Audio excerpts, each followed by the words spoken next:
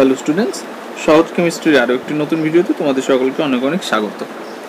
আজকে আমরা দ্রবণ চ্যাপ্টারটি শুরু করছি। সবার প্রথমে আজকে আমরা পড়ব দ্রবণের গাঢ়ত্ব প্রকাশের যে পদ্ধতিগুলো আছে, যেমন শতকরা মাত্রা পিপিএম মাত্রা মোলারিটি মোলালিটি নর্মালিটি মোল ভগ্নাংশ, গ্রাম প্রতি লিটার, এগুলো। এদের মধ্যে বিশেষ করে এই চারটা বেশি ইম্পর্টেন্ট অবশ্য প্রত্যেকটাই আমরা ডিটেলে পড়ব, তারপরে কীভাবে এর মানগুলো বের করে, অঙ্ক করে সেগুলো দেখব। তাহলে শুরু করা যাক। সবার প্রথমে আসছি শতকরা মাত্রা। দেখো, এটা শুরু করার আগে কয়েকটা কথা বলি। এইখানে আমরা যা যা পড়ব, ওপরে, ওপরের অংশতে থাকবে দ্রাবের আর নিচের অংশতে থাকবে দ্রবণের। এটা মনে রাখবে জাস্ট এক জায়গায় ব্যতিক্রম আছে, সেটাও বলে দেবো। সেটা বাদে বাদ বাকি প্রত্যেকটার মধ্যে ওপরে থাকবে দ্রাবের, নিচে থাকবে দ্রবণের। এটা শুধু মনে রাখবে, ঠিক আছে? ওপরে দ্রাবের আর নিচে দ্রবণের। এখন তারপরে সবার প্রথমে দেখে নেওয়া যাক, এই শতকরা মাত্রা, এটা আবার তিন ধরনের হতে পারে। সবার প্রথমে এক নম্বর হচ্ছে পার্সেন্টেজ ডাব্লু বাই ডাব্লু দুই নম্বর হচ্ছে পার্সেন্টেজ ডাব্লু বাই ভি আর তিন নাম্বার হচ্ছে পার্সেন্টেজ ভি বাই ভি ঠিক আছে? এগুলো কি? দেখো। এই ডাব্লু লেখা আছে না? ডাব্লু মানে হচ্ছে ওয়েট আর ওয়েট বলতে আমরা কি বুঝি? ভর। এটা মানে হচ্ছে ভর। আর ভি মানে হচ্ছে ভলিউম মানে আয়তন। ভলিউম মানে আয়তন। এবার একদম ফার্স্টেরটা দেখো। ওপরেও ডাব্লু আছে, নিচেও ডাব্লু আছে। আমি কি বললাম? ওপরেরটা কার? ওপরেরটা দ্রাবের, আর নিচেরটা দ্রবণের। প্রথমে লিখে দিই, ওপরেরটা দ্রাবের, আর নিচেরটা হচ্ছে দ্রবণের। এখন ঘটনা হচ্ছে, ওপরে ডাব্লু আছে, তাহলে ওপরের ডাব্লুটা দ্রাবের। আর ডাব্লু মানে কি? ভর। তাহলে ওপরে হচ্ছে দ্রাবের ভর। নিচেও ডাব্লু আছে, নিচে ডাব্লুটা কার? দ্রবণের। তাহলে নিচেও ডাব্লু যেহেতু, নিচেও ভর, তাহলে কার ভর? দ্রবণের ভর। আর যেহেতু শতকরা আনতে হবে পার্সেন্টেজ আনতে হবে, তাই এটাকে আমাদেরকে একশো দিয়ে গুণ করতে হবে। ঠিক আছে? একশো দিয়ে না গুণ করলে তো পার্সেন্টেজ সিম্বল আসবে না। এবার পরেরটা দেখো। পরেরটা পার্সেন্টেজ ডাব্লু বাই ভি লেখা আছে। তাহলে দেখো, ওপরেরটা কার? দ্রাবের। একই রকমভাবে এটা আগে লিখে নিলাম। আর নিচেরটা হচ্ছে দ্রবণের। তাহলে ওপরে ডাব্লু আছে, তার মানে ওপরে দ্রাবের ভর ডাব্লু মানে ভর। আর নিচে আছে ভি ভি মানে কি? ভলিউম বা আয়তন। তাহলে নিচে হবে দ্রবণের আয়তন। তারপরে পার্সেন্টেজ আনার জন্য আমাদেরকে হান্ড্রেড দিয়ে গুণ করতে হবে। এখানে আরেকটা ইম্পর্টেন্ট জিনিস তোমাদেরকে মনে রাখতে হবে, এই যে ভর, এই ভরটা কোন এককে থাকবে? ভর থাকবে হচ্ছে গ্রাম এককে, আর আয়তন থাকবে হচ্ছে মিলিলিটার এককে, ঠিক আছে? তার মানে এখানে দ্রাবের ভর বসাতে হবে গ্রাম এককে, নিচে দ্রবণের ভর এটাও গ্রাম এককে বসাতে হবে। এখানে ওপরে বলেছে দ্রাবের ভর, এটা কোন এককে বসবে? গ্রাম এককে, আর দ্রবণের আয়তনটা এখানে বসবে মিলিলিটার এককে, ঠিক আছে? এর পরেরটা দেখো, পরেরটা আছে পার্সেন্টেজ ভি বাই ভি তাহলে ওপরেরটা কার? ওপরেরটা দ্রাবের। আর নিচেরটা দ্রবণের। এটা প্রথমে লিখে দিই। এবার দেখো, ওপরে ভি আছে, তার মানে কি? দ্রাবের আয়তন। আর নিচেও ভি আছে, তার মানে কি? নিচেও দ্রবণেরও আয়তন। তাহলে আয়তনগুলো কোন এককে বসবে? আয়তনগুলো বসবে মিলিলিটার এককে। আর পার্সেন্টেজ আনার জন্য একশো দিয়ে গুণ করতে হবে। তাহলে আয়তনগুলো বসবে মিলিলিটার এককে ক্লিয়ার এবার ধরো তোমাকে বলে দিল। এবার এই সংক্রান্ত কিছু এক্সাম্পল আমরা করে নিই। আমরা বুঝব কি করে, কোনটা কি বলেছে। সাপোজ তোমাদেরকে এটা বলে দিয়েছে। এক নম্বর করছি ধরো। তোমাকে বলা হলো seventy percent W by W H NO three মানে নাইট্রিক অ্যাসিড দ্রবণ। ধরো তোমাকে একটা দ্রবণ দিলাম আমি, বোতলের গায়ে লেখা আছে seventy percent W by W H NO three এটা বলতে আমরা কি বুঝি? দেখো, প্রথমেই বলে দিই, এটা পার্সেন্টেজে দেওয়া আছে মানে শতকরা মাত্রাতে দেওয়া আছে। এবার ওপরের ডাব্লু টাকার দ্রাবের, নিচের ডাব্লুটা দ্রবণের। এবার সেভেন্টি পার্সেন্ট বলেছি মানে নিশ্চয়ই কি? একশো ভাগের মধ্যে সত্তর ভাগ আছে। এবার একশো ভাগটা কি আর সত্তর ভাগটা কি? দেখো, একশো ভাগ যেটা, সেটা দ্রবণ ধরা হয়। আর সত্তর ভাগ যেটা মানে এখানে যে পার্সেন্টেজের সামনে যেটা বলে দিবে, সেই সংখ্যাটা অ্যাকচুয়ালি দ্রাবের। তার মানে একশো ভাগ দ্রবণের মধ্যে সত্তর ভাগ দ্রাব আছে। এবার যে ভাগ কথাটা বলছি, সেটা ওজনে আছে নাকি আয়তনে আছে, সেটা আমাদেরকে বুঝতে হবে। দেখো, ওপরে ডাব্লু দেওয়া আছে মানে ওপরে ডাব্লুটা কার? দ্রাবের মানে ওপরে দ্রাবের ভর, নিচে ডাব্লু দেওয়া আছে, নিচে ডাব্লুটা কার? দ্রবণের মানে নিচে দ্রবণের ভর। তার মানে দুটোই অ্যাকচুয়ালি ভর, ভরে দেওয়া আছে মানে আয়তনে দেওয়া নেই। তার মানে কি? একশো ভাগ ভরের দ্রবণের মধ্যে সত্তর ভাগ ভরের দ্রাব আছে। দ্রাবটা কি এখানে? এইচ এনও থ্রি এবার ভরটা কোন এককে আছে বললাম? গ্রাম এককে। তার মানে এটা বলতে আমরা লিখতে পারি একশো গ্রাম দ্রবণের মধ্যে সত্তর গ্রাম এইচ এনও থ্রি দ্রবীভূত আছে। দ্রবীভূত আছে। ব্যাস, এটা বুঝতে পেরে গেলাম। এটা একটা হলো। এবার ধরো তোমাকে দুই নাম্বার বলা হলো ten percent W by V H two SO four দ্রবণ। এখান থেকে তুমি কি বুঝতে পারবে? কি ইনফরমেশন পাচ্ছ? দেখো। এখানেও একই রকম, এখানে টেন পার্সেন্ট যেহেতু বলেছি, তার মানে কি একশো ভাগের মধ্যে দশ ভাগ এইচ টু এসও ফোর আছে। মানে একশো ভাগ দ্রবণের মধ্যে দশ ভাগ এইচ টু এসও ফোর এবার দেখো, দ্রবণের কি? নিচের ভিটা তো দ্রবণের, তার মানে দ্রবণের আয়তন বুঝিয়েছে। আর ওপরের ডাব্লুটা দ্রাবের, তার মানে দ্রাবের ভর বুঝিয়েছে। বোঝা গেল? তার মানে কি বুঝতে পারলাম আমরা? এবার একশো ভাগ আয়তনের দ্রবণের মধ্যে দশ ভাগ ভরের এইচ টু এসও ফোর আছে। তার মানে এবার এবার আয়তনটা কোন এককে আছে? মিলিলিটারে।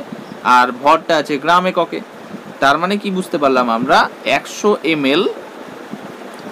দ্রবণের মধ্যে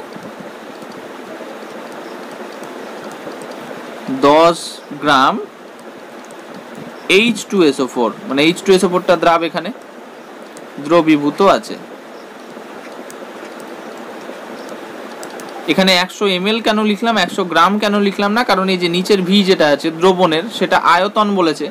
ভর তো বলেনি, ওই কারণে এটাও আয়তনে লিখলাম, মিলিলিটার এককে আছে। বোঝা গেছে? তোমাকে ওটা বুঝে নিতে হবে। শতকরা মাত্রা যখন থাকবে, ডাব্লুটা মানে ভরটা গ্রাম এককে থাকে আর ভিটা মানে আয়তনটা মিলিলিটার এককে থাকে। ক্লিয়ার? তাহলে এটা হয়ে গেল। এবার নেক্সট আরেকটা এক্সাম্পল আমরা করে নিই। তিন নাম্বার। সেটা পার্সেন্টেজ ভি বাই ভি দিয়ে করছি, ধরো। ধরো তোমাকে বলা হলো sixty percent V by V ethanol দ্রবণ। এটা অনেকে দেখতে পাবে দেখবে তোমরা যে স্যানিটাইজারটা ইউজ করো, সেই স্যানিটাইজারের গায়ে অনেক সময় লেখা থাকে। Sixty percent V by V ethanol বা seventy percent V by V ethanol বা আইসোপ্রোপানল এরকম লেখা থাকে, দেখবে? এটা বলতে কি বুঝতে পারছি, দেখো? এটা বলতে আমরা বুঝতে পারছি সিক্সটি পার্সেন্ট তার মানে কি একশো ভাগের মধ্যে ষাট ভাগ আছে। তার মানে টোটাল যে দ্রবণটা একশো ভাগ যদি আমরা ধরে নিই সেই দ্রবণের মধ্যে ষাট ভাগ ইথানল আছে। এবার এই ভাগটা কিসে? আয়তনে না ওজনে? দেখো, ওপরেও ভি বলেছে মানে কি? যে ইথানল বা দ্রাবটা, সেটার কি? সেটার আয়তন, আর নিচে ভি আছে মানে কি? দ্রবণটারও আয়তন। তার মানে একশো ভাগ আয়তনের দ্রবণের মধ্যে ষাট ভাগ আয়তনের ইথানল আছে।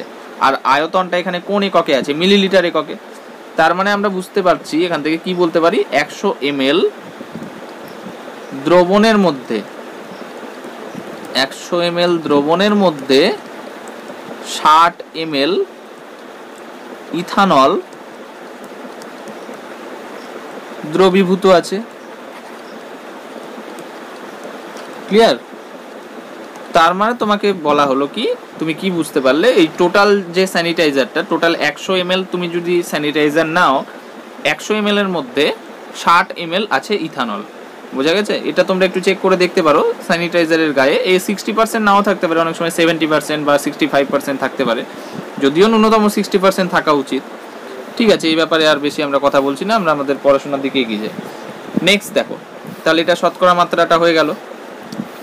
এবার নেক্সট চলে আসছি পিপিএম মাত্রা। শতকরা মাত্রার পরেই কেন এটা করলাম? কারণ এটার সাথে শতকরা মাত্রার বেশ কিছু মিল আছে। ঠিক আছে? পিপিএম মানে হচ্ছে parts per million per million এক মিলিয়ন মানে হচ্ছে দশ লক্ষ। ওয়ান মিলিয়ন এটা মানে টেন ল্যাক আর এক লক্ষ মানে একের পাশে পাঁচটা শূন্য, তাহলে দশ লক্ষ মানে কত হবে? একের পাশে ছটা শূন্য। মানে সংক্ষেপে এটাকে আমরা ten to the power six বলতে পারি। বোঝা গেছে?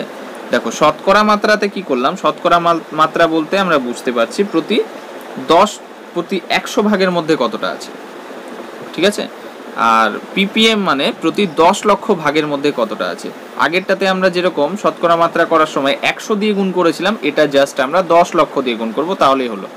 শতকরা মাত্রাতে যে একশোটা দিয়ে গুণ করেছিলাম ওটা কেন এসেছিল? প্রতি একশো ভাগ বোঝাতে। আর এটা প্রতি দশ লক্ষ ভাগে কতটা আছে, তার মানে দশ লক্ষ দিয়ে গুণ করলেই হয়ে গেল। জাস্ট এইটুকুটাই ডিফারেন্স মানে পিপিএম মাত্রাটা কি? দ্রবণের প্রতি দশ লক্ষ ভাগের মধ্যে কত ভাগ দ্রাব আছে? আর শতকরা মাত্রা ছিল দ্রবণের প্রতি একশো ভাগের মধ্যে কতটা দ্রাব আছে? বোঝা গেল ব্যাপারটা?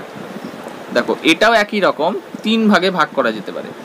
সবার প্রথমে আসছি পিপিএম ডাব্লু বাই ডাব্লু তারপরে আসব পিপিএম ভি বাই ভি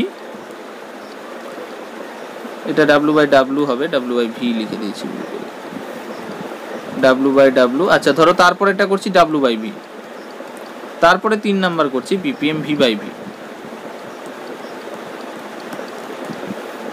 তাহলে ফার্স্ট এরটা কি হবে?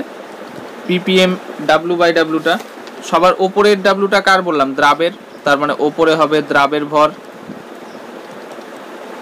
আর নিচের ডাব্লুটা দ্রবণের, তার মানে নিচে হবে দ্রবণের ভর ইনটু দেখো শতকরা মাত্রার সময় যেখানে একশো লিখেছিলাম জাস্ট এখানে একশো, একশোর পরিবর্তে দশ লক্ষ লিখব মানে ten to the power six আর এই ভরগুলো কোন এককে হবে? একই রকম, গ্রাম এককে হবে।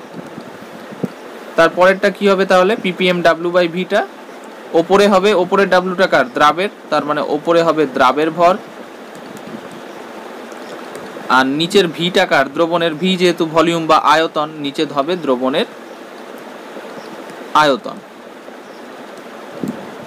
ইন্টু একই রকম ten to the power six মানে দশ লক্ষ। এবার কোনটা কোন এককে বসাবো? ভরটা বসবে গ্রাম এককে, আয়তনটা বসবে মিলিলিটার এম এল এককে। এবার আসছি পিপিএম ভি বাই ভি। ওপরেও ভি আছে, নিচেও ভি আছে। তার মানে কি?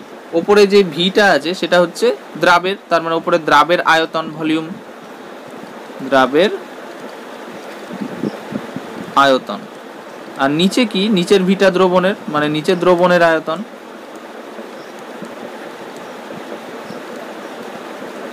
ইন্টু কত গুণ হবে? Ten to the power six.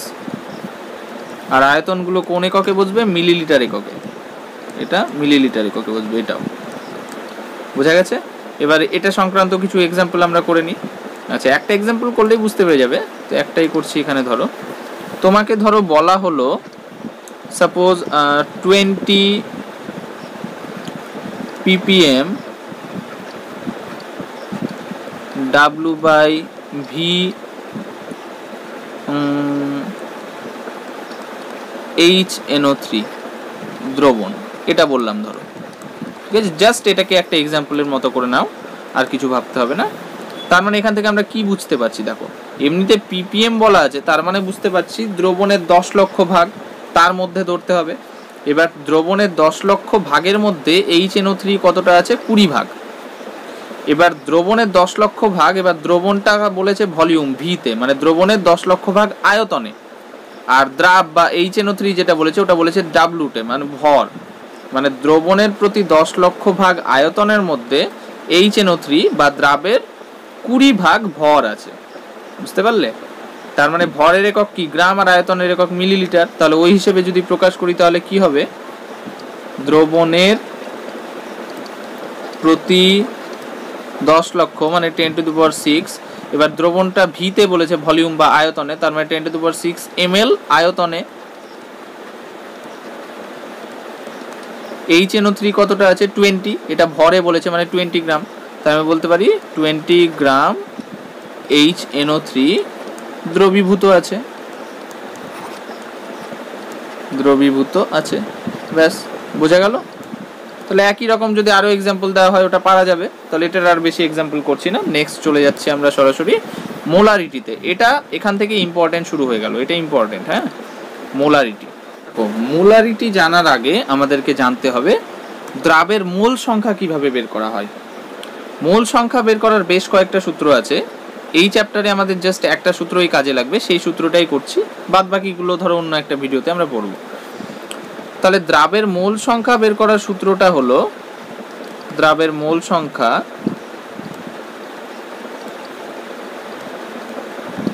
এটাকে সাধারণত স্মল এন দিয়ে লেখা হয়, ঠিক আছে? এটা সমান সমান হচ্ছে, ওপরে বসবে দ্রাবের ভর মানে তুমি কতটা দ্রাব নিয়েছো সেই ভরটা আর নিচে বসবে ওই দ্রাবটার আণবিক ভর। দ্রাবের আণবিক ভর। দেখো, দ্রাবের ভরটা, এটাকে সাধারণত আমরা ডাব্লু দিয়ে লিখি, আর দ্রাবের আণবিক ভর এটাকে সাধারণত ক্যাপিটাল এম দিয়ে লেখা হয়।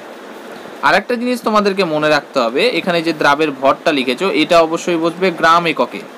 আর আণবিক ভর সাধারণত গ্রাম পার মোল এককে থাকে। যেটাকে মোলার ভরও বলে থাকি আমরা।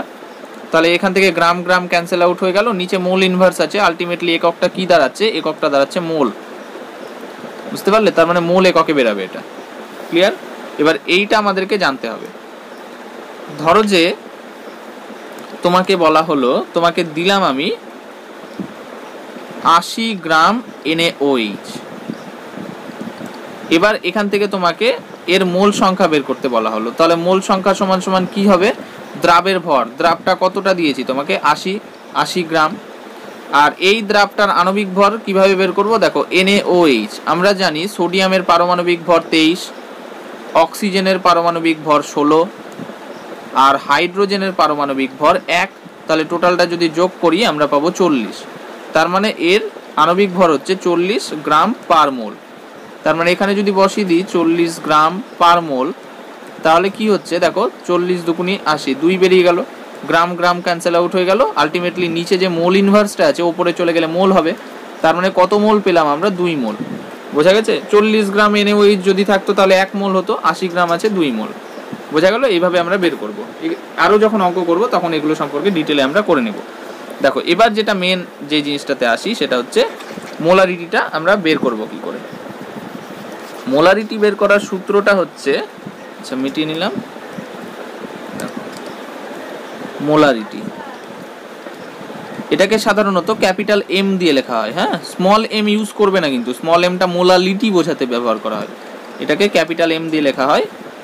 এই মোলালি, মোলারিটি, এটা সমান সমান হচ্ছে ওপরে বসবে দ্রাবের মোল সংখ্যা।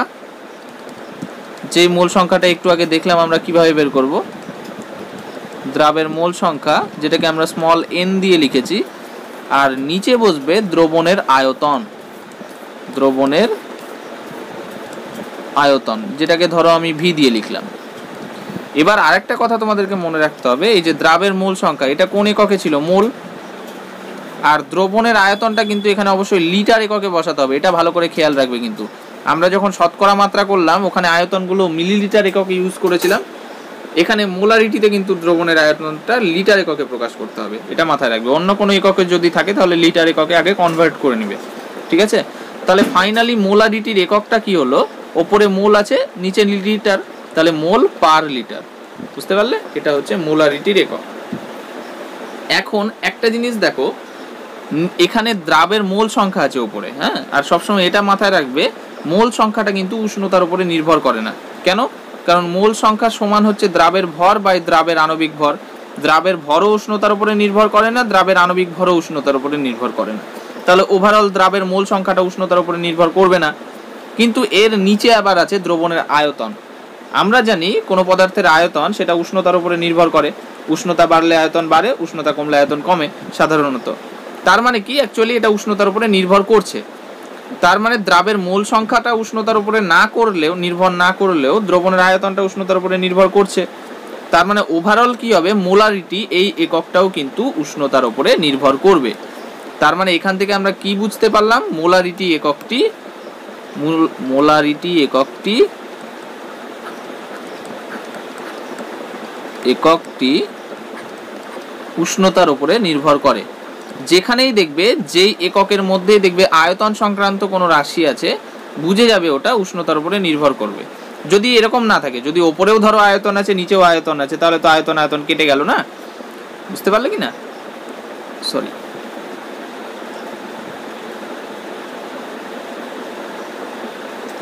যেখানেই দেখবে যে এখানে যে এককেই দেখবে,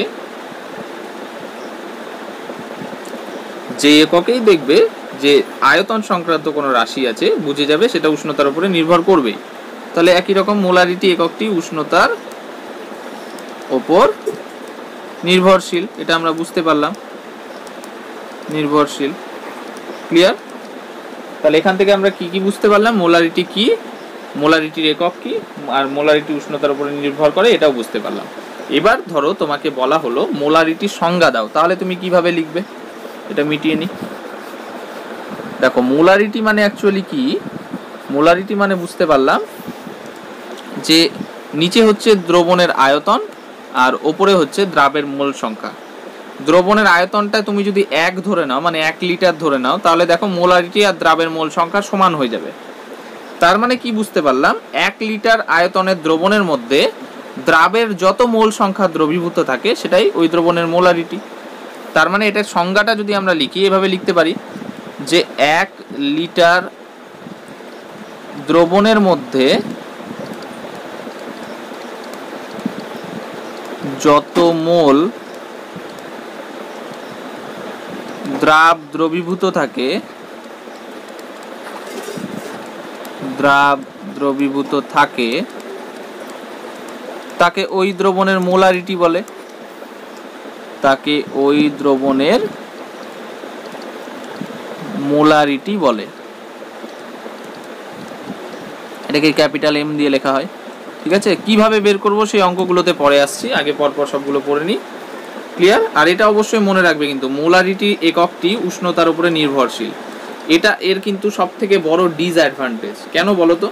কারণ ধরো, তুমি ল্যাবে গেলে, সকাল দশটার দিকে ধরো গেলে বা নটার দিকে গেলে, তুমি একটা দ্রবণের মোলারিটি নির্ণয় করে রাখলে। এবার তুমি বাইরে চলে গেলে, এবার কোথাও থেকে ঘুরে ধরো দুপুরবেলা বারোটা একটা বা দুটোর দিকে আসছো, তখন তো টেম্পারেচার অনেকটাই ধরো, ধরে নিলাম বেশি আছে। এবার টেম্পারেচার যেই বেড়ে গেছে, দ্রবণের আয়তনটা তো আর সেম থাকবে না, আয়তনও বেড়ে যাবে। তার মানে কি, তুমি যে মোলারিটিটা বের করেছিলে, ওটা কিন্তু আর সেম থাকল না মোলারিটি চেঞ্জ হয়ে গেল। এবার তুমি যদি ওই দ্রবণটা নিয়ে কাজ করো, দিয়ে ধরো ওর মোলারিটিটা কোনো কাজে লাগল, সেটার ওই যে মানটা তুমি বের করেছিলে সকালে, সেই মানটাই বসিয়ে দিলে। তাহলে কি মোলারিটির মানটা ঠিক থাকল? অবশ্যই ঠিক থাকল না। কারণ টেম্পারেচার যে বদলেছে মোলারিটির মানটাও কিন্তু বদলে গেছে। তুমি যখন যেই মুহূর্তে ওটা নিয়ে এক্সপেরিমেন্টটা করছ বা ওটা ওই মোলারিটি এককটা অন্য কোনো কাজে লাগাচ্ছ, তখনকার, তখন তোমাকে কিন্তু ওই টেম্পারেচার রেসপেক্টে যে আয়তনটা আছে, সেই হিসেবে তোমাকে মানটা বের করে নিতে হবে। বুঝতে পারলে? তার মানে টেম্পারেচার বদলানোর সাথে সাথে মোলারিটি এককের মানটাও কিন্তু বদলে যায়। দশ ডিগ্রি সেন্টিগ্রেড উষ্ণতায় কোনো দ্রবণের মোলারিটির যে মান থাকবে, পঁচিশ ডিগ্রি সেন্টিগ্রেডে কিন্তু সেম মান থাকবে না।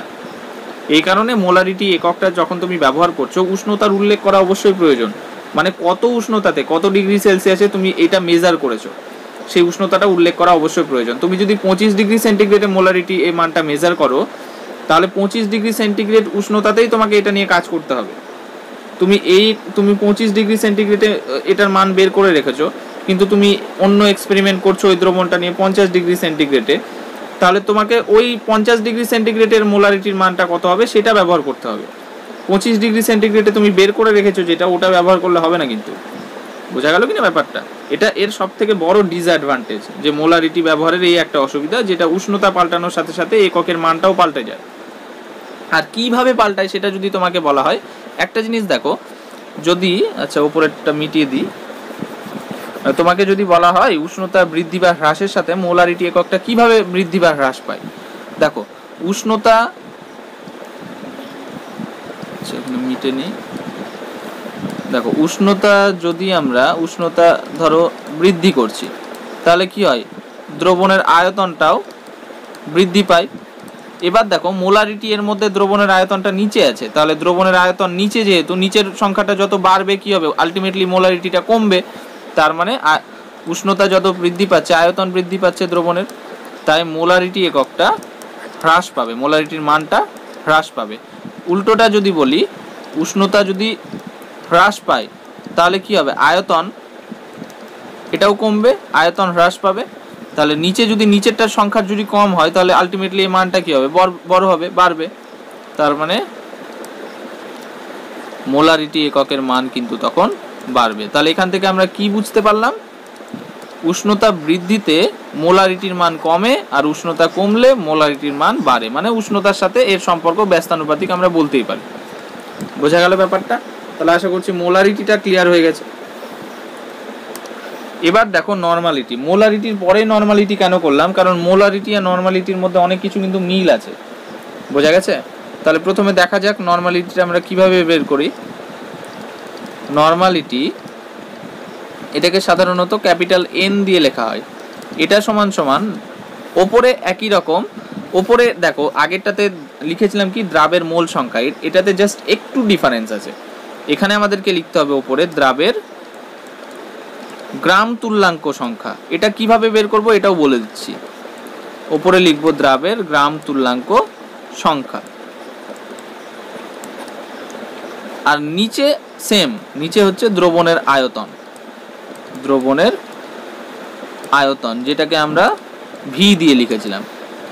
দেখো, ওপরে যেটা লিখেছি, দ্রাবের গ্রাম তুল্যাঙ্ক সংখ্যা, সেটার একক হচ্ছে গ্রাম ইকুইভ্যালেন্ট বা শুধু ইকুইভ্যালেন্টও বলা হয়। গ্রাম ইকুইভ্যালেন্ট আর নিচে তো দ্রবণের আয়তনটা মোলারিটিতে যেরকম করলাম, লিটার এককে, সেই লিটার এককেই হবে। তাহলে ওপরে হচ্ছে গ্রাম ইকুইভ্যালেন্ট নিচে লিটার। তাহলে নর্মালিটির এককটা কি হবে? নর্মালিটির একক হয়ে যাবে gram equivalent per litre gram equivalent per litre বোঝা গেল? এবার এখানে জিনিস দেখো, এখানেও দ্রবণের আয়তন কিন্তু এই আয়তন সংক্রান্ত রাশিটা আছে। আর আয়তন সংক্রান্ত রাশি থাকলে তো উষ্ণতার উপরে নির্ভর করবে। সেই কারণে নর্মালিটি এককটাও কিন্তু এই এককটিও উষ্ণতার উপরে নির্ভরশীল। তার মানে টেম্পারেচার চেঞ্জ হলে এই এককের মানটাও কিন্তু চেঞ্জ হয়ে যাবে। এই এককটিও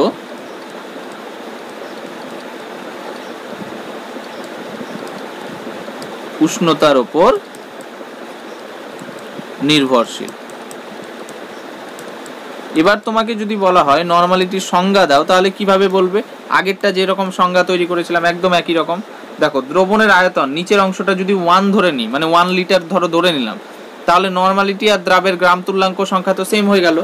তার মানে বলতে পারি, দ্রবণ, দ্রবণের আয়তন যদি এক লিটার হয়, তাহলে তার মধ্যে দ্রাবের যত গ্রাম তুল্যাঙ্ক দ্রবীভূত আছে, সেটাই নর্মালিটির সমান হবে। তার মানে কি লিখতে পারি? এক লিটার এক লিটার দ্রবণের মধ্যে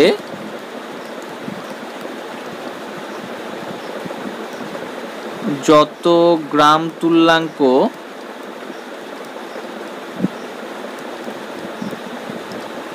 দ্রাব দ্রবীভূত থাকে।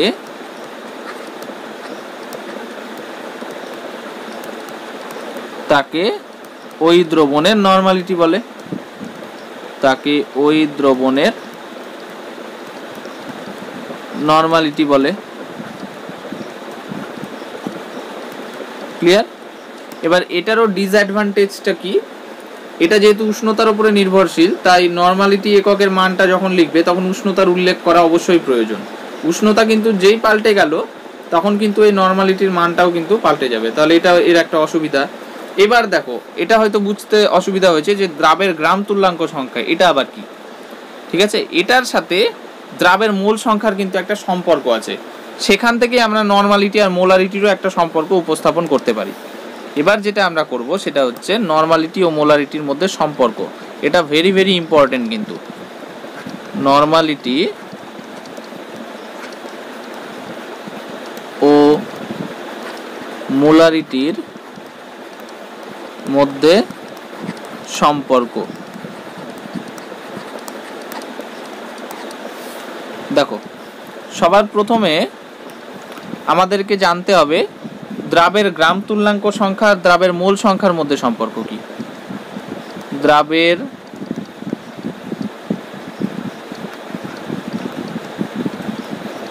গ্রাম তুল্যাঙ্ক সংখ্যা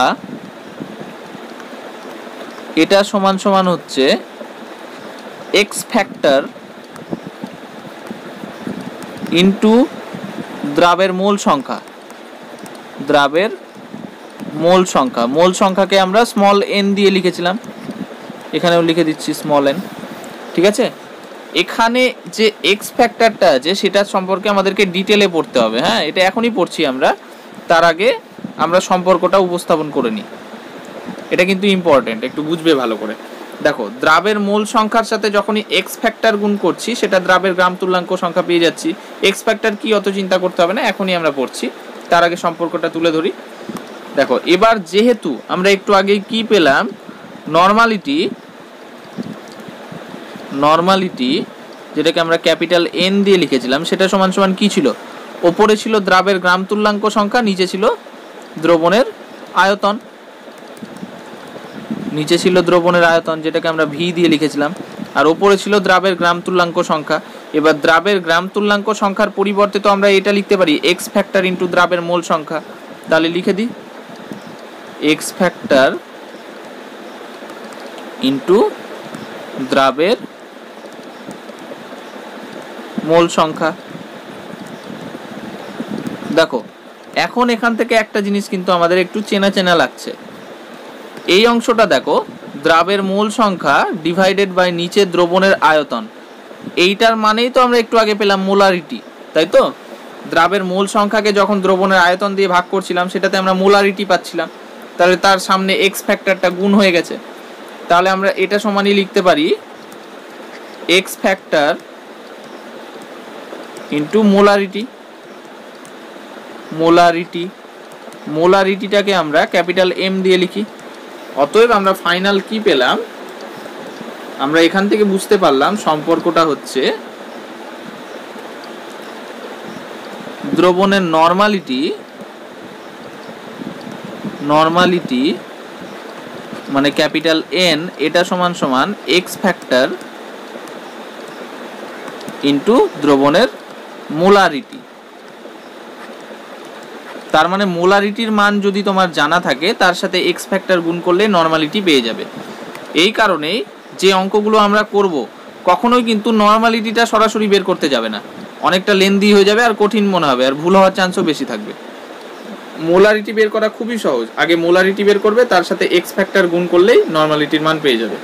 এই যে এক্স ফ্যাক্টর এক্স ফ্যাক্টর করছি, এই এক্স ফ্যাক্টরটা কি এবার সেটা আমরা জেনে নিই। দেখো, এটা খুবই সহজ।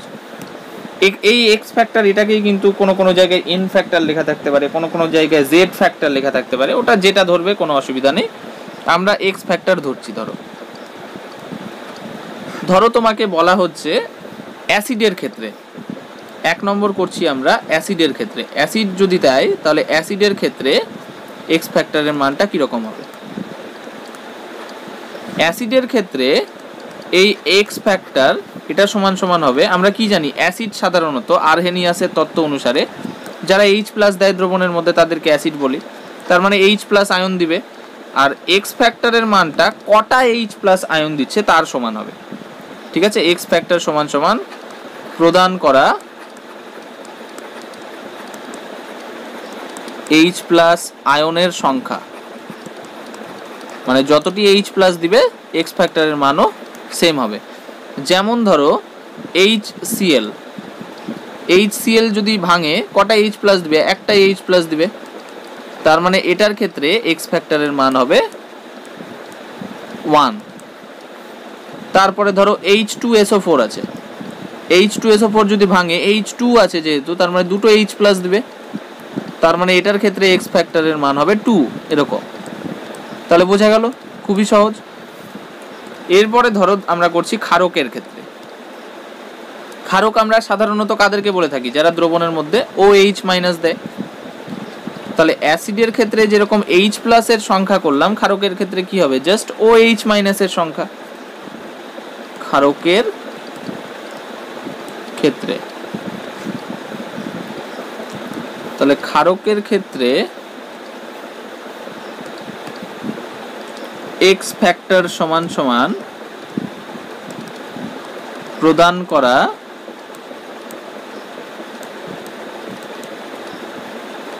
ও এইচ মাইনাস আয়নের সংখ্যা। ও এইচ মাইনাস আয়নের সরি সংখ্যা। যেমন ধরো, তোমাকে দেওয়া হলো এনএওএইচ তাহলে এনএওএইচ ভাঙলে কটা ওএইচ মাইনাস পাবো? একটাই ওএইচ মাইনাস পাবো। তাহলে এখানে এক্স ফ্যাক্টরের মান কত হবে? ওয়ান ধরো ম্যাগনেসিয়াম হাইড্রোক্সাইড আছে Mg O H whole two এটাকে ভাঙলে কটা পাবো? দুটো ও এইচ মাইনাস পাবো। তার মানে এটার ক্ষেত্রে এক্স ফ্যাক্টরের মান হবে টু ধরো অ্যালুমিনিয়াম হাইড্রক্সাইড আছে, A L O H whole three. এটাকে ভাঙলে তিনটে ও এইচ মাইনাস পাবো। তাহলে এটার ক্ষেত্রে এক্স ফ্যাক্টরের মান কত হবে? তিন। বোঝা গেছে? এরপরে আর এক রকম হতে পারে, সেটা হচ্ছে লবণের ক্ষেত্রে। ধরো অ্যাসিড বা ক্ষারক কোনোটাই নেই, কোনো একটা লবণ দেওয়া আছে। তিন নম্বর আমরা করছি লবণের ক্ষেত্রে। এটা একটু জটিল হতে পারে বুঝতে, কিন্তু খুব সহজে বুঝিয়ে দিচ্ছি। দেখো, লবণের ক্ষেত্রে এক্স ফ্যাক্টর এটা হবে ক্যাটায়ন বা অ্যানায়ন, দুটোর মধ্যে যে কোনো একটা। অ্যানায়নের মোট যোজ্যতা মোট যোজ্যতা দেখো, এটা আমরা কীভাবে বের করব? ক্যাটায়ন বা অ্যানায়ন বলছে। দুজনের মধ্যে যে কোনো একটা ধরবে হ্যাঁ? আমরা আমাদের সুবিধার জন্য সবসময় ক্যাটায়ন ধরেই করব, তাহলে ভুল হওয়ার চান্স কম থাকবে। কোনোটাতে ক্যাটায়ন, কোনোটাতে অ্যানায়ন যদি এভাবে ধরতে যাও, ভুল হওয়ার চান্স বেশি থাকবে। তাই আমরা একটাকে ধরে নিচ্ছি, ক্যাটায়ন, ক্যাটায়নটা ধরেই করব। ধরো একটা লবণ নিলাম আমরা, NaCl এখানে যদি ক্যাটায়নটা দেখি, তাহলে ক্যাটায়নটা কি হচ্ছে? Na প্লাস একটা Na প্লাস আছে। আর তার চার্জ কত? প্লাস মানে প্লাস ওয়ান বলতে পারি। তার মানে এখানে ক্যাটায়নের যোজ্যতা যদি বলি যোজ্যতা কত? ক্যাটায়নের এক। তার মানে এটার এক্স ফ্যাক্টরের মান হচ্ছে এক। বোঝা গেল? একই রকম যদি আমরা এইটা নিই ম্যাগনেশিয়াম ক্লোরাইড এমজিসিএল টু এখান থেকে কোন ক্যাটায়ন পাবো? পাবো হচ্ছে এমজি টু প্লাস একটাই পাবো। তাহলে ক্যাটায়নের মোট যোজ্যতা কত? একটাই আছে, তার যোজ্যতা প্লাস টু মানে চার্জ প্লাস টু তাহলে যোজ্যতা টু অতএব এক্স ফ্যাক্টরের মান হবে দুই। ধরো আমাকে দিল L CL three aluminium chloride. এখানে কি পাবো আমরা? অ্যালুমিনিয়াম থ্রি প্লাস এই আয়নটা পাবো। একটাই আছে। তার মানে টোটাল চার্জ কত হবে? প্লাস থ্রি যোজ্যতা তিন, তার মানে এক্স ফ্যাক্টরের মানও তিন। এবার ধরো এটা আছে, এটা একটু ভালো করে বুঝবে। A L two SO four whole three মানে অ্যালুমিনিয়াম সালফেট।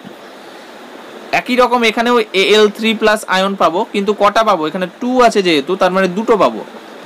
দুটো অ্যালুমিনিয়াম থ্রি প্লাস বুঝতে পারলে? এখানে দেখো লেখা আছে ক্যাটায়ন বা অ্যানায়নের মোট যোজ্যতা। শুধু যোজ্যতা না, মোট যোজ্যতা। মানে যখন একাধিক ক্যাটায়ন থাকবে, সবগুলো যোজ্যতাকে যোগ করতে হবে কিন্তু। দুটো অ্যালুমিনিয়াম থ্রি প্লাস আছে মানে একটা অ্যালুমিনিয়াম প্লাস থ্রি আর একটা অ্যালুমিনিয়াম প্লাস থ্রি তাহলে টোটাল চার্জ কত হলো? প্লাস সিক্স বোঝা গেছে? তাহলে টোটাল চার্জ হলো প্লাস সিক্স তার মানে এক্স ফ্যাক্টরের মান কিন্তু এখানে সিক্স হবে। এক্স ফ্যাক্টরের মান সিক্স হবে। সরি থ্রি লিখে দিলাম, ভুল করে সিক্স হবে। বোঝা গেল ব্যাপারটা? তাহলে দেখো, আমরা যে সমীকরণটা, যে সূত্রটা পেয়েছিলাম, সেখানে লেখা ছিল কি? নর্মালিটি মানে ক্যাপিটাল এন এটা সমান সমান এক্স ফ্যাক্টর ইন্টু মোলারিটি মোলারিটিকে ক্যাপিটাল এম দিয়ে লিখেছিলাম। তাহলে নর্মালিটি আর মোলারিটি জাস্ট মোলারিটিকে ক্যাপিটাল, মোলারিটিকে এক্স ফ্যাক্টর দিয়ে যদি গুণ করি নর্মালিটি পেয়ে যাব। যেসব ক্ষেত্রে এক্স ফ্যাক্টরের মান ওয়ান যেমন ধরো এইচ সিএল তারপরে এনএওএইচ তারপরে এনএসিএল এগুলো এক্সাম্পলে দেখলাম এক্স ফ্যাক্টর এটা সমান সমান কত? ওয়ান ছিল। তাহলে এদের ক্ষেত্রে কি হবে? এদের ক্ষেত্রে নর্মালিটি আর মোলারিটির মানটা কিন্তু সেম হবে। তাহলে নর্মালিটি ইকুয়ালস টু মোলারিটি বোঝা গেল? এবার যখনই আমরা অঙ্ক করব নর্মালিটি মোলারিটি যদি বের করতে বলে, বা শুধু নর্মালিটি ধরো বের করতে বলল, আগে কিন্তু অবশ্যই মোলারিটি বের করব আমরা।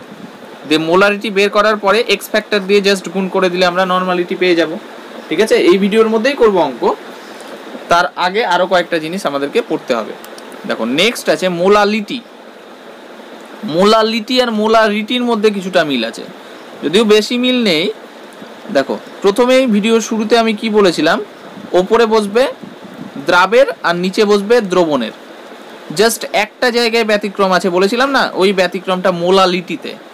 এখানে মনে রাখবে, এখানে ওপরে বসবে দ্রাবের আর নিচে বসবে দ্রাবকের নট দ্রবণের। ঠিক আছে? এটা ভালো করে মনে রাখবে। ওপরে হচ্ছে দ্রাবের আর নিচে হচ্ছে দ্রাবকের। ক্লিয়ার তাহলে এবার লিখে ফেলি। মোলালিটি, এটা হচ্ছে ওপরে বসবে দ্রাবের আর নিচে বসবে দ্রাবকের। ওপরের দ্রাবের কি? ওপরের দ্রাবের মোল সংখ্যা। যেরকম মোলারিটিতে করেছিলাম আমরা ওপরের দ্রাবের মোল সংখ্যা সেরকম। আর দ্রাবের মোল সংখ্যাকে আমরা স্মল এন দিয়ে লিখেছিলাম। আর নিচে বসবে দ্রাবকের ভর। এটাকে ধরো ডাব্লু দিয়ে লিখছি। এবার এখানে একটা জিনিস মনে রাখতে হবে। দ্রাবের মোল সংখ্যা, এটা তো মোল এককেই ছিল। আর এখানে ভরটা কিন্তু গ্রাম এককে হবে না, কেজি এককে হবে। বুঝতে পারলে? যেরকম আমরা করলাম না, শতকরা মাত্রাতে গ্রাম এককে, এখানে কিন্তু ভুল করে গ্রাম এককে করে দিও না, এটা কেজি এককে হবে। তাহলে ওভারঅল মোলালিটির এককটা কি হবে? ওপরে আছে মোল, নিচে আছে কেজি, তাহলে এককটা হবে মোল পার কেজি। ক্লিয়ার এবার একটা জিনিস দেখো, ওপরে দ্রাবের মোল সংখ্যা আছে। মোল সংখ্যাটা তো উষ্ণতার উপরে নির্ভর করে না, বলেছিলাম। নিচে দ্রাবকের ভর আছে। ভর, এটাও কিন্তু উষ্ণতার উপরে নির্ভর করে না। এখানে কি আয়তন সংক্রান্ত কোনো রাশি আছে? নেই। তার মানে কি? মোলালিটি এককটা উষ্ণতার উপরে নির্ভর করবে না। উষ্ণতা চেঞ্জ হয়ে গেলেও কিন্তু মোলালিটি যে মানটা পেয়েছ, মানটা চেঞ্জ হবে না।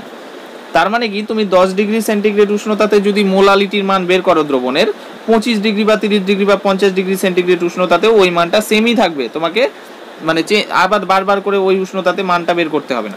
কারণ আয়তন সংক্রান্ত কোনো রাশি তো নেই। এটা কিন্তু মোলালিটির একটা বিশাল বড় সুবিধা। বুঝতে পারলে?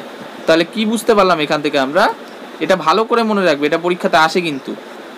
মোলালিটি এককটি উষ্ণতার উপরে নির্ভর করে না। মোলালিটি এককটি উষ্ণতার ওপর নির্ভর করে না। এটা ভালো করে একটু মনে রাখবে। দেখো, এবার যদি তোমাকে বলা হয় মোলালিটির সংজ্ঞা দাও, কীভাবে বলবে? দেখো, দ্রাবকের ভর, নিচেরটা যদি এক ধরে নিই, এক কেজি ধরে নিই, তাহলে মোলালিটি আর দ্রাবের মোল সংখ্যা তো সমান হয়ে যাবে। তার মানে কি বুঝতে পারলাম? এক কেজি দ্রাবকের মধ্যে যত মোল দ্রাব দ্রবীভূত থাকে, সেটাকে ওই দ্রবণের মোলালিটি বলা হয়। বোঝা গেল? তার মানে এক কেজি, এখানে কিন্তু দ্রবণ হবে না, দ্রাবক। এক কেজি দ্রাবকের মধ্যে যত মোল দ্রাব দ্রবীভূত থাকে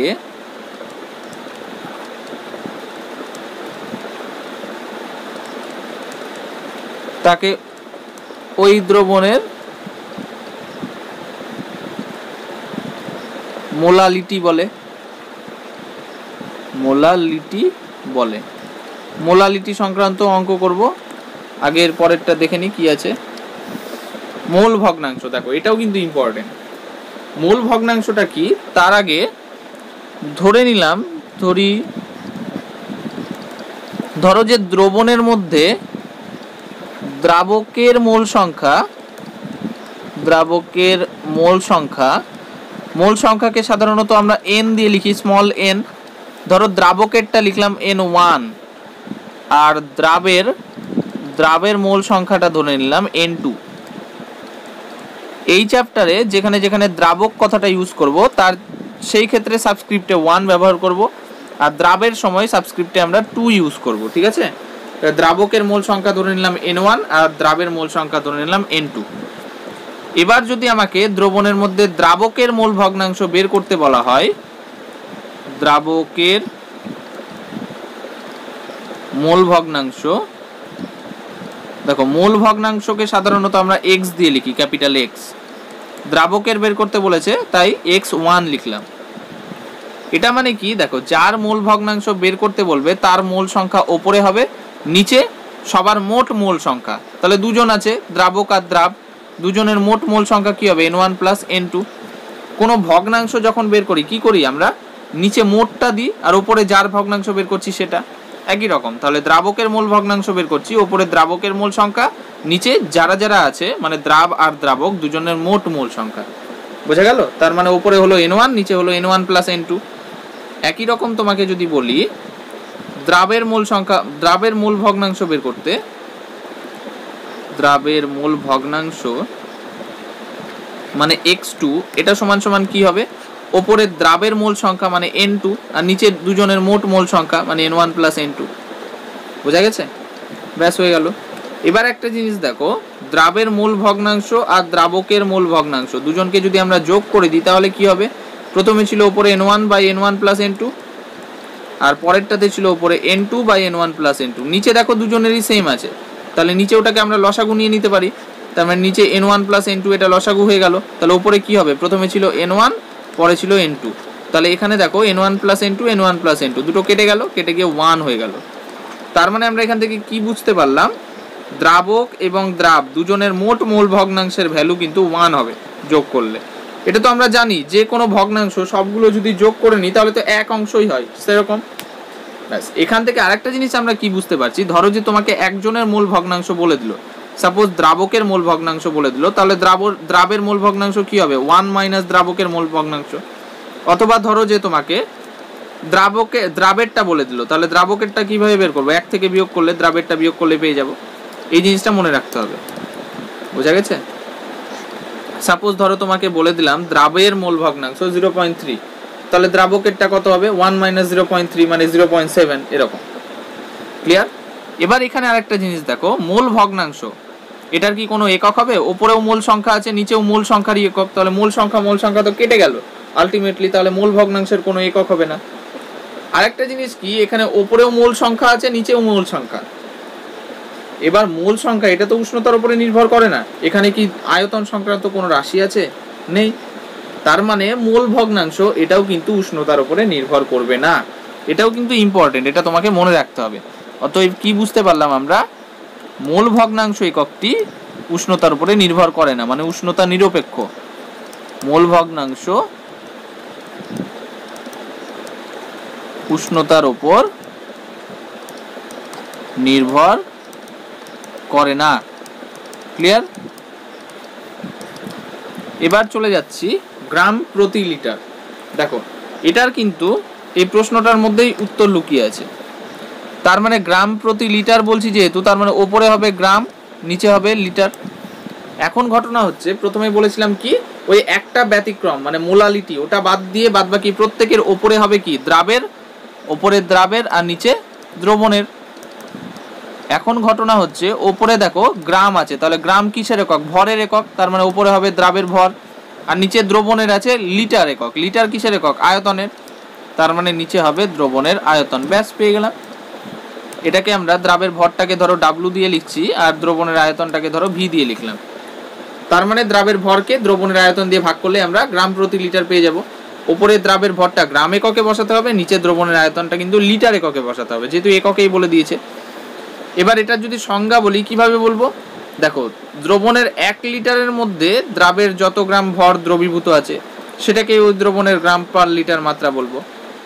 মানে এক লিটার দ্রবণের মধ্যে যত গ্রাম দ্রাব দ্রবীভূত আছে, তাকে ওই দ্রবণের গ্রাম পার লিটার মাত্রা বলে। বোঝা গেল কি না? ব্যাস। এবার এখানে দেখো, এখানেও কিন্তু দ্রবণের আয়তন সংক্রান্ত রাশি আছে। এই যে আয়তন সংক্রান্ত রাশি আছে, আর আয়তন সংক্রান্ত রাশি থাকলে উষ্ণতার উপরে নির্ভর করে। তাহলে এখান থেকে কি বুঝতে পারলাম? এই এককটি উষ্ণতার উপরে নির্ভরশীল। এই এককটি উষ্ণতার উপর নির্ভরশীল। তাহলে একটা জিনিস দেখো, এখান থেকে আমরা কি কি বুঝতে পারলাম? কোন কোন একক উষ্ণতা নিরপেক্ষ? সেটা হচ্ছে মোলালিটি মোলালিটি আর মোল ভগ্নাংশ। এটা ভেরি ভেরি ইম্পর্টেন্ট কিন্তু, ভালো করে মনে রাখবে। এই দুটো একক কিন্তু উষ্ণতার উপরে নির্ভর করে না মানে উষ্ণতা নিরপেক্ষ।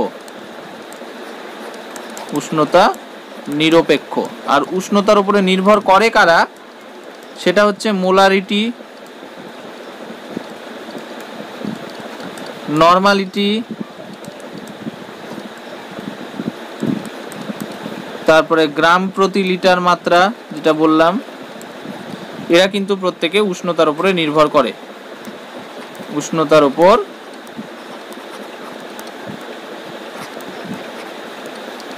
নির্ভর করে। বোঝা গেল? এবার আমরা তাহলে চলে যাচ্ছি গাণিতিক প্রবলেমে, ঠিক আছে? প্রবলেমগুলো ভালো করে বুঝবে। যে কটা করাবো এগুলো যদি ভালো করে বুঝে যাও, তাহলে যে কোনো প্রবলেম কিন্তু এগুলো রিলেটেড দিলে তোমরা পেরে যাবে। তাহলে প্রবলেমে চলে যায় এবার।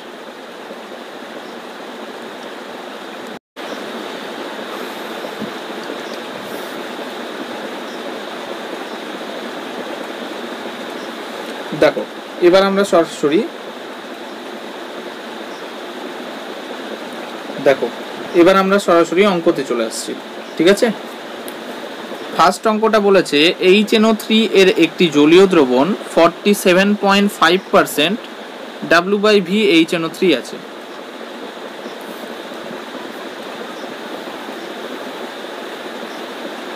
দেখো, এবার আমরা সরাসরি অঙ্কতে চলে আসছি। ফার্স্ট অঙ্কটাতে বলেছে এইচ এনও থ্রি এর একটি জলীয় দ্রবণে forty seven point five percent W by V H NO three আছে। দ্রবণটির নর্মালিটি কত? দেখো, আগেই অঙ্কটা করতে শুরু করে দিবে না। সবার প্রথমে দেখবে কি কি ইনফরমেশন দেওয়া আছে আর কি কি বের করতে বলেছে। বের করতে বলেছে নর্মালিটি ঠিক আছে? আর ইনফরমেশন কি কি দিয়েছে? Forty seven point five percent W by V H NO three এটা আছে হ্যাঁ? এবার যখনই মনে মনে রাখবে এটা, যখনই শতকরা মাত্রা দেওয়া থাকবে, শতকরা মাত্রা থেকে কিন্তু আমরা ইজিলি দুটো ইনফরমেশন পেয়ে যাব। এখান থেকে আমরা কি বলতে পারি? Forty seven point five percent W by V H NO three ওপরে ডাব্লুটা মানে কি? দ্রাব, দ্রাবের ভর আর নিচে ভিটা মানে কি? আয়তন কার দ্রবণের। তার মানে এখানে দ্রবণের আয়তনটা এমএলএ আছে, মিলিলিটার ওপরে দ্রাবের ভরটা গ্রামে আছে।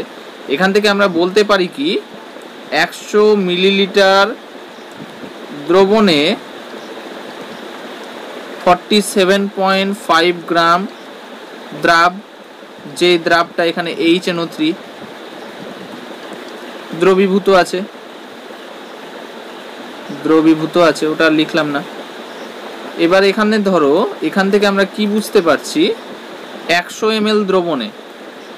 একশো এম দ্রবণে মানে কি? দ্রবণের আয়তনটা আমরা পেয়ে গেলাম। দ্রবণের আয়তন, এটা কত হলো? একশো এম আর forty seven point five gram দ্রাব, তার মানে কি? এখান থেকে আমরা দ্রাবের ভর পেয়ে গেলাম। দ্রাবের ভর কত? Forty seven point five gram. এবার একটা জিনিস দেখো, তোমাকে বের করতে হবে কি? বের করতে হবে নর্মালিটি আর আমি কি বললাম তখন? নর্মালিটি বের করার আগে আমরা কি বের করব? মোলারিটি মোলারিটি যদি আমরা বের করতে পারি, তাহলে কিন্তু নর্মালিটি ইজিলি বের করে নিতে পারব। তাহলে মোলারিটি এবার কীভাবে বের করব? দেখো মোলারিটি এটার একটা সূত্র আছে, সেই সূত্রটা আমরা জানি, তখন লিখেছিলাম মোলারিটি ক্যাপিটাল এম এটা সমান সমান লিখেছিলাম ওপরের দ্রাবের মোল সংখ্যা এন বাই নিচে দ্রবণের আয়তন ভি দেখো, দ্রবণের আয়তনটা তো এখান থেকে আমরা পেয়ে গেছি, ওটা নিয়ে অসুবিধা নাই, শুধু বের করতে হবে দ্রাবের মোল সংখ্যা। তাহলে আবার যেহেতু দ্রাবের মোল সংখ্যা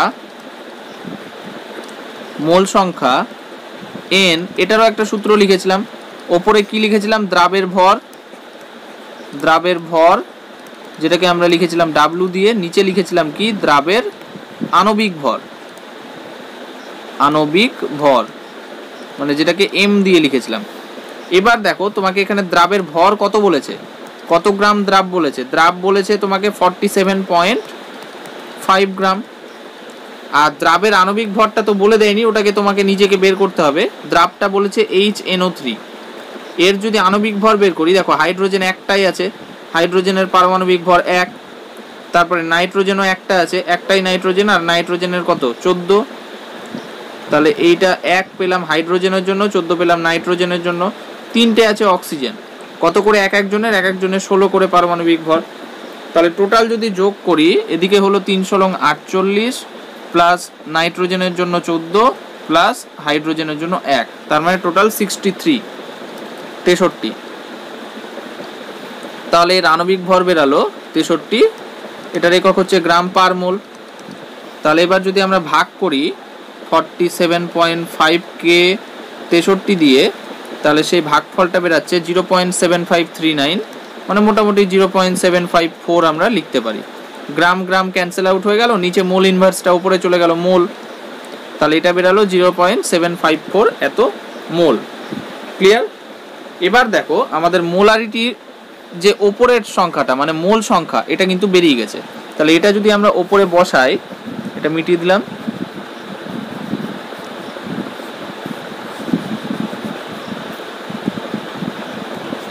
তাহলে আমাদের বেরালো কি? ওপরে দ্রাবের মোল সংখ্যা কত বেরালো? Zero point seven five four, এত মোল। আর নিচে আমাদেরকে কি লিখতে হবে? নিচে লিখতে হবে দ্রবণের আয়তন। এখন দেখো মোলারিটিতে বলেছিলাম দ্রবণের আয়তনটা কোন এককে থাকে? লিটার এককে। এখানে মিলিলিটারে বেরিয়েছে, এটাকে লিটারে কনভার্ট করে নিতে হবে। মিলিলিটার থেকে লিটার করলে কি করতে হয়? এক হাজার দিয়ে ভাগ করতে হয়। তার মানে এক হাজার দিয়ে ভাগ করলে হবে zero point one, zero point one litre. তাহলে এটা জিরো পয়েন্ট ওয়ান লিটার, এটা দিয়ে যদি ভাগ করে দিই, জিরো পয়েন্ট সেভেন ফাইভ ফোরকে জিরো পয়েন্ট ওয়ান দিয়ে যদি ভাগ করি কত হবে? Seven point five four. Seven point five four, এত mole per litre.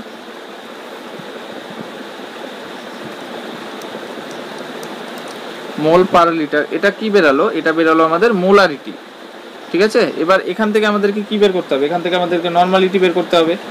নর্মালিটি সমান সমান আমরা আমরা কি জানি? এক্স ইন্টু মোলারিটি তাই তো? তাহলে যেহেতু নর্মালিটি এটা সমান সমান কি? নর্মালিটিকে আমরা ক্যাপিটাল এন দিয়ে লিখেছিলাম। এটা সমান সমান আবার এক্স ফ্যাক্টর ইন্টু মোলারিটি মোলারিটিকে ক্যাপিটাল এম দিয়ে লিখেছি। এবার দেখো এক্স ফ্যাক্টরের মানটা আমাদেরকে জানতে হবে। এইচ এনও থ্রি এটা তো একটা অ্যাসিড এখান থেকে কটা এইচ প্লাস পাবো আমরা? একটা এইচ প্লাস পাবো। তার মানে এটার ক্ষেত্রে এক্স ফ্যাক্টরের মান কত? ওয়ান আর এক্স ফ্যাক্টরের মান যদি ওয়ান হয়, তার মানে কি? নর্মালিটি আর মোলারিটির ভ্যালু সেম তো? তাহলে এটা ওয়ান ইন্টু মোলারিটির মান কত বেরালো? সেভেন পয়েন্ট ফাইভ ফোর ব্যাস। তাহলে নর্মালিটি সমান আমরা কত পাচ্ছি? নর্মালিটি এটার মানও কিন্তু সেভেন পয়েন্ট ফাইভ ফোরই হবে। জাস্ট ইউনিটটা ডিফারেন্ট হবে। মোলারিটির একক কি? মোল পার লিটার আর এটার ইউনিট কি বলেছিলাম? Gram equivalent gram equivalent per litre বোঝা গেছে? ব্যাস, তাহলে এটা হয়ে গেল আমাদের অ্যান্সার এইভাবে স্টেপ বাই স্টেপ করবে। প্রথমে দেখবে কি বের করতে দিয়েছে, তারপরে দেখবে কি ইনফরমেশন দেওয়া আছে। ওই ইনফরমেশনগুলোকে কাজে লাগিয়ে যেটা বের করতে দিয়েছে, সেটা বের করবে। আর যদি নর্মালিটি বের করতে বলে, সবার প্রথমে আগে মোলারিটি বের করে নেবে। ঠিক আছে? ধরো যে ইনফরমেশনের নর্মালিটি দিয়ে দিল, সেই নর্মালিটিটাকে অবশ্যই মোলারিটিতে কনভার্ট করবে। তাহলে কিন্তু করতে আরও সুবিধা হবে। তাহলে এক নম্বরটা হয়ে গেল। নেক্সট দুই নম্বরে চলে আসি। দুই নম্বরে বলেছে one point two five normal মানে নর্মালিটি বলে দিয়েছে one point two five H দ্রবণের শতকরা মাত্রা নির্ণয় করতে বলেছে। শতকরা মাত্রা ডাব্লু বাই ভি নির্ণয় করতে বলেছে। দেখো, শতকরা মাত্রা ডাব্লু বাই ভি যদি নির্ণয় করতে হয়, কি লাগবে? ওপরে ডাব্লু বলেছে মানে দ্রাবের ভর প্রয়োজন। নিচে ভি বলেছে মানে দ্রবণের আয়তন প্রয়োজন। তাহলে এগুলো আমরা কোথায় থেকে পাবো? এগুলো এই ইনফরমেশনটা থেকে পেয়ে যাব।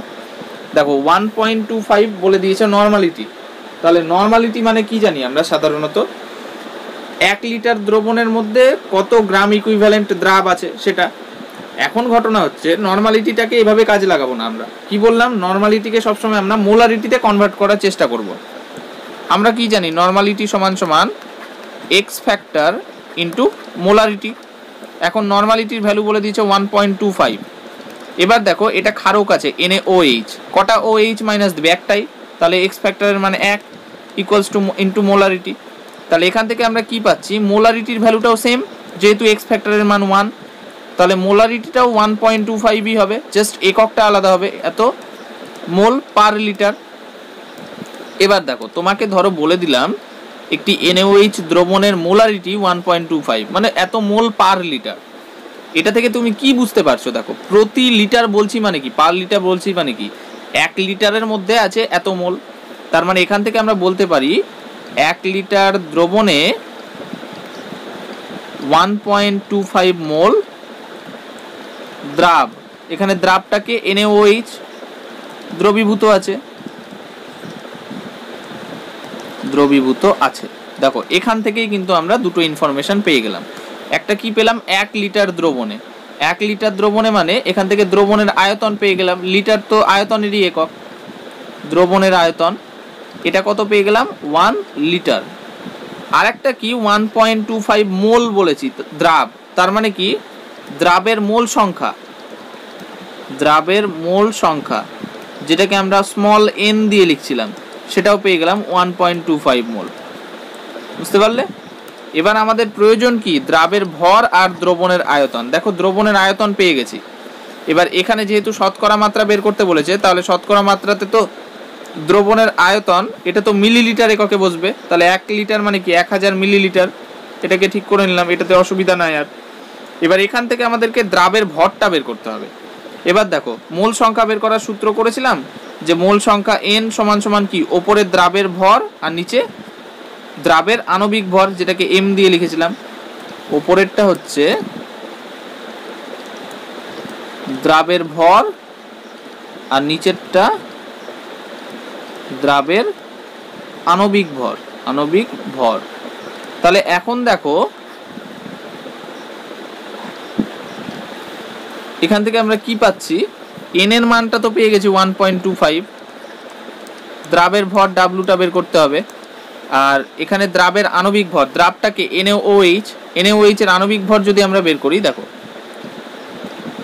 এনএ প্রথমে, সোডিয়াম সোডিয়ামের তো তেইশ, পারমাণবিক ভর সোডিয়ামের তেইশ, তারপরে অক্সিজেন, অক্সিজেনের পারমাণবিক ভর ষোলো, হাইড্রোজেন এর পারমাণবিক ভর এক, টোটালটা যোগ করলে এনএওএইচ এর আণবিক ভর পেয়ে যাব। তাহলে টোটালটা যদি যোগ করি, চল্লিশ বেরাবে মানে চল্লিশ গ্রাম পার মোল। মোল সংখ্যা, এটা বেরিয়েছিল one point two five mole. আর আণবিক ভরটা বেরালো চল্লিশ, তার মানে চল্লিশ গ্রাম পার মোল। এখানে পার মোল আর এখানকার মোল তো ক্যান্সেল আউট হয়ে হয়ে যাবে। আলটিমেটলি ডাব্লু এর এককটা কি? গ্রাম এককেই বেরাবে। তাহলে ডাব্লুটা বেরাবে, যদি আমরা চল্লিশকে গুণ করি ওয়ান পয়েন্ট টু ফাইভ দিয়ে, গুণফল হবে পঞ্চাশ। অতএব দ্রাবের ভর বেরাবে পঞ্চাশ গ্রাম। তাহলে এখান থেকে আমরা দ্রাবের ভর পেয়ে গেলাম। এখান থেকে আমরা দ্রবণের আয়তন ভি এটাও পেয়ে গেছিলাম। তাহলে শতকরা মাত্রা ডাব্লু বাই ভি সমান সমান কি হবে? শতকরা মাত্রা ডাব্লু বাই ভি ওপরে দ্রাবের ভরটা পেয়ে গেছি পঞ্চাশ গ্রাম। নিচের দ্রবণের আয়তনটা পেয়ে গেলাম এক হাজার মিলিলিটার। আর শতকরা আনার জন্য একশো দিয়ে গুণ করতে হবে। তাহলে এই শূন্য এই শূন্য এই শূন্য এই শূন্য কেটে গেল, এই শূন্যও কেটে গেল, তার মানে ফাইভ বেরালো। ঠিক আছে? তাহলে এটাই অ্যান্সার তাহলে অ্যান্সার হচ্ছে শতকরা মাত্রা ডাব্লু বাই ভি এটা কত? পাঁচ। এটা অ্যান্সার হয়ে গেল। ক্লিয়ার এবার আমরা সরাসরি চলে যাচ্ছি নেক্সট প্রবলেমে দেখো। এটা একটু ইম্পর্টেন্ট আছে, এটা একটু ভালো করে বুঝবে। আমাদেরকে বলেছে একটি এইচ টু এসও ফোর দ্রবণের শতকরা মাত্রা ডাব্লু বাই ডাব্লু এটা পনেরো বলে দিয়েছে। আর দ্রবণটার ঘনত্ব বলে দিয়েছে one point zero two gram per semi cube এখান থেকে আমাদেরকে দ্রবণটার মোলারিটি আর মোলালিটি দুটোই বের করতে বলেছে। ঠিক আছে? তাহলে এক এক করে আমরা দুটোই বের করি। প্রথমে দেখো, কি কি ইনফরমেশন দিয়েছে সেটাকে কাজে লাগাও। শতকরা মাত্রা ডাব্লু বাই ডাব্লু বলে দিয়েছে মানে পার্সেন্টেজ ডাব্লু বাই ডাব্লু এটা সমান সমান বলে দিয়েছে পনেরো। আর কি দ্রবণ দিয়েছে? এইচ টু এসও ফোর দ্রবণ। তাহলে এখান থেকে তো ইজিলি আমরা দুটো ইনফরমেশন পেয়ে যাচ্ছি। ডাব্লু বাই ডাব্লু মানে কি? দ্রবণের একশো ভাগ ভরের মধ্যে দ্রাবের এত ভাগ ভর আছে। এবার দেখো, দ্রাব কতটা বলেছে? এইচ টু এস ওপর পনেরো। তার মানে কি বলতে পারছি এখান থেকে? বুঝতে পারছি, একশো গ্রাম দ্রবণের মধ্যে পনেরো গ্রাম দ্রাব। এখানে দ্রাবটা কি এইচ টু এসও ফোর আছে, দ্রবীভূত আছে।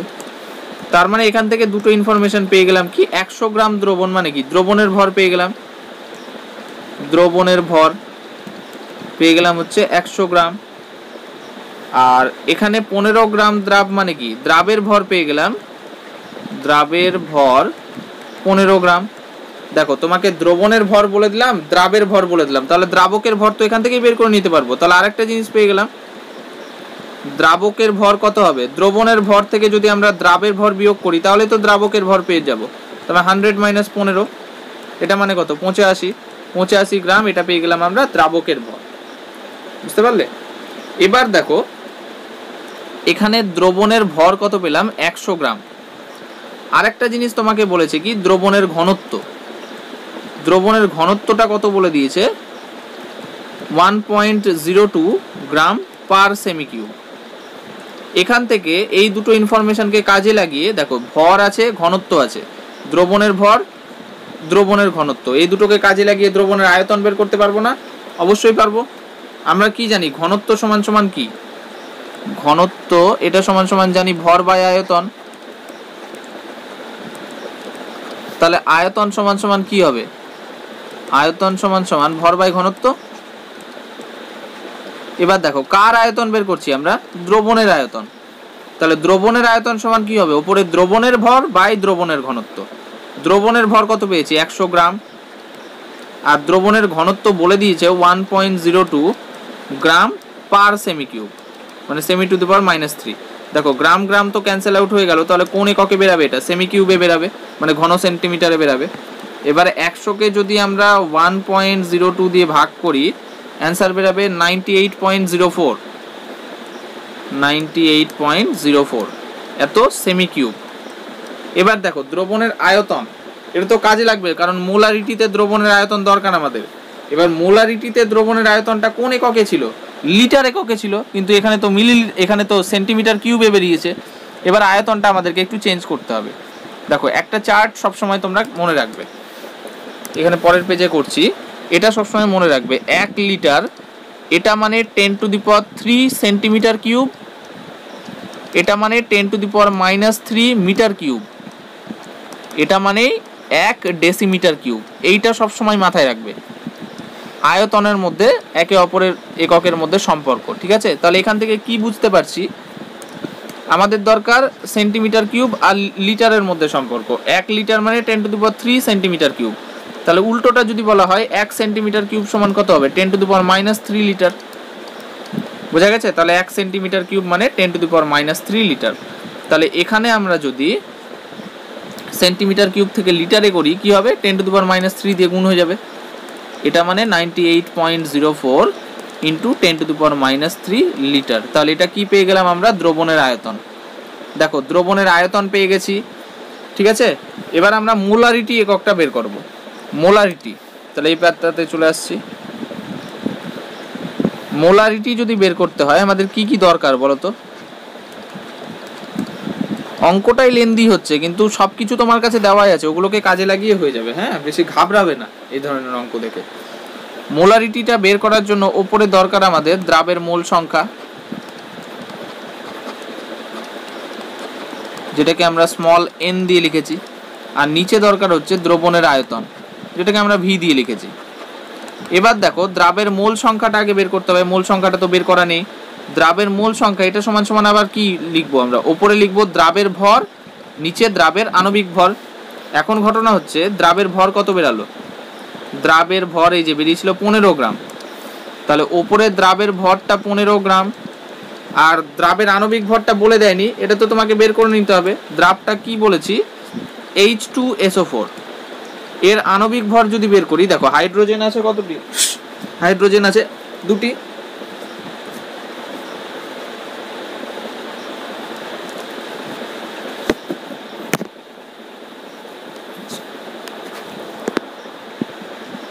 দেখো এইচ টু এসও ফোরের আণবিক ভর বের করতে হবে।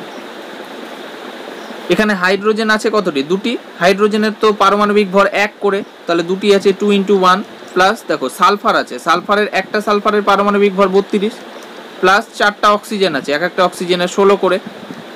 তাহলে টোটালটা যদি যোগ করো এইচ টু এসও ফোরের আণবিক ভর পাবে তুমি নাইনটি এইট তার মানে ninety eight gram per mole এখানে যদি বসিয়ে দিই ninety eight gram per mole তাহলে গ্রাম গ্রাম ক্যান্সেল আউট হয়ে গেল। এটা আলটিমেটলি মোলে থাকল। পনেরোকে যদি আটানব্বই দিয়ে ভাগ করা হয় তাহলে অ্যান্সারটা বেরাবে হচ্ছে zero point one five three. এত মোল। ক্লিয়ার? তাহলে এখান থেকে দ্রাবের মোল সংখ্যা আমরা পেয়ে গেলাম। তাহলে ওপরে বসিয়ে দিচ্ছি দ্রাবের মোল সংখ্যা zero point one five three. এত মোল।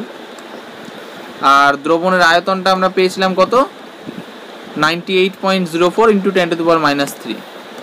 তাহলে ninety eight point zero four into ten to the power minus three. এত লিটার। তাহলে আলটিমেটলি এটা কি মোল পার লিটার এককে বেরাবে? এবার এটাকে যদি আমরা ক্যালকুলেশন করি zero point one five three ten to the power minus থ্রিটা উপরে গিয়ে ten to the power three হয়ে যাবে। তার মানে উপরে হয়ে গেল একশো তিপ্পান্ন, আর সেটাকে যদি ninety eight point zero four দিয়ে ভাগ করি, তাহলে ফাইনালি বেরাবে ওয়ান পয়েন্ট ফাইভ সিক্স তাহলে এটা কি পেয়ে গেলাম? মোলারিটি, এককটা হবে মোল পার লিটার চেষ্টা করবে এককগুলো পাশে লিখে দেওয়া। তাহলে ফাইনাল যেটা অ্যান্সার বেরাবে, সেটা কোন এককে বেরাচ্ছে, সেটা নিয়ে তোমাদের কোনো কনফিউশন থাকবে না। যেখানে যেখানে তুমি মানগুলো বসাচ্ছে, চেষ্টা করবে মানগুলো বসানোর সময় এককটা বসিয়ে দেওয়া তাহলে একক নিয়ে কোনো কনফিউশন থাকবে না। মোলারিটি বেরিয়ে গেছে, এবার আমরা বের করব মোলালিটি মোলালিটি মানে স্মল এম দেখো মোলালিটি মানে কি ছিল? ওপরে তো দ্রাবের মোল সংখ্যা ছিল মানে ওপরে ছিল স্মল এন দ্রাবের মোল সংখ্যা। নিচে ছিল দ্রাবকের ভর। দ্রাবকের ভর। দেখো, দ্রাবের মোল সংখ্যাটা তো একবার আমরা বের করলাম zero point one five three mole.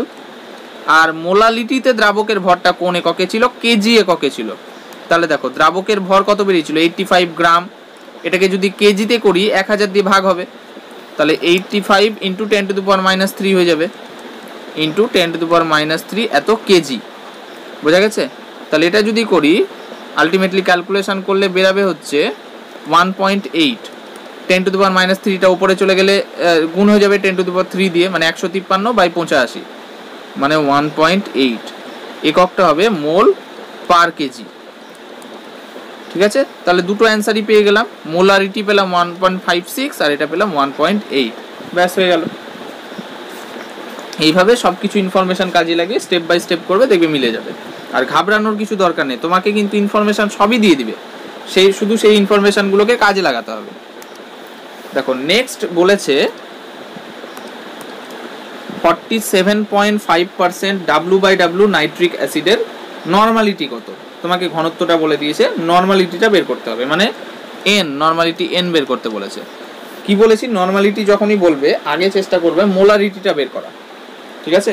তাহলে কীভাবে বের করব? প্রথমে দেখো ইনফরমেশন কি দেওয়া আছে, সেটাকে কাজে লাগাও।